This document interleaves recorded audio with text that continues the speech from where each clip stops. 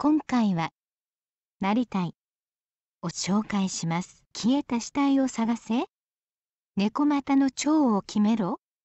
おまけに来世でなりたいものを今決めろって。フレーフレー。病弱若旦那。シャバケシリーズ第14弾。第1巻からの固定ファンです。昨年でしたか。442スピンアウト版の話が出ていてあれれ。これってどうなるんだろ明治オモダンと絡むのかな？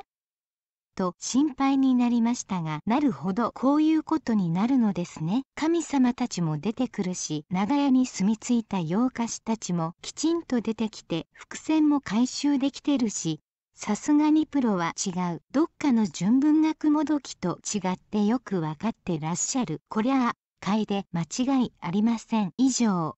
興味のある方は実際の商品を Amazon などでご確認ください。今回は最後までお付き合いありがとうございました。よかったらチャンネル登録をお願いいたします。